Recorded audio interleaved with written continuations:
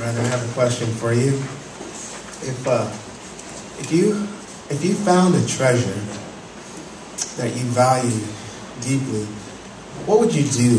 What would you do for that treasure? You know, people have died for the things that they believe. People have spent tons of money. I mean, they people spend money to augment their body, change their body shape. You know, to live for many, many years, they spend money because they think that by having all these things, it's going to bring them, it's going to make them feel better. And I want us to just think back for a second before we came into the body of Jesus Christ. And something drew us to Jesus. Something drew us to want Him, to know Him, to have a deeper relationship. We were in pain because we had this, this vacant. We, we just were empty inside. And when we think about people in the world, they're searching for something. They're searching for a truth, and they, they think that there's no hope. And that's why we saw this terrible murder in this uh, movie theater. This guy just blowing people away.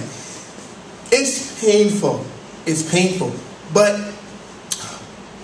to think of what we have, what we know, the truth that we have, the treasure that we have of Jesus Christ in us, living in us, the light of Jesus, how can we keep this treasure to ourselves?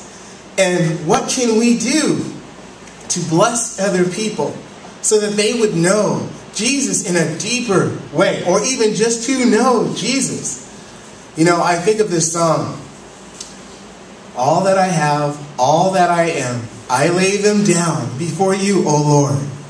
All my regrets, all of my plans, my heart and my hands are lifted to you, Lord. I offer my life to God. When we give an offering, we are offering everything to God. He loves whatever it is we want to give. I want to read one scripture, and it's one you're very familiar with. But just to remind us that the world is searching for something and they don't know what they're searching for, and they need us and they need us to give it to them. So it's in John 3 16 to 17. It says this For God so loved the world that he gave his one and only Son, that whoever believes in him will not perish, but have eternal life.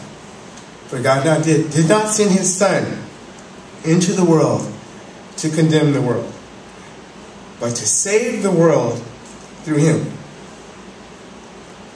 Now, if people knew how much Jesus loved them, do you think they would just be killing each other like they're doing right now? I just believe for us today, as we get ready to give this offering, Jesus is the treasure that we seek. And hopefully, we would be willing to give any amount of money for this treasure because this treasure is life. But not just for us, but for everyone. Let's take up the offering.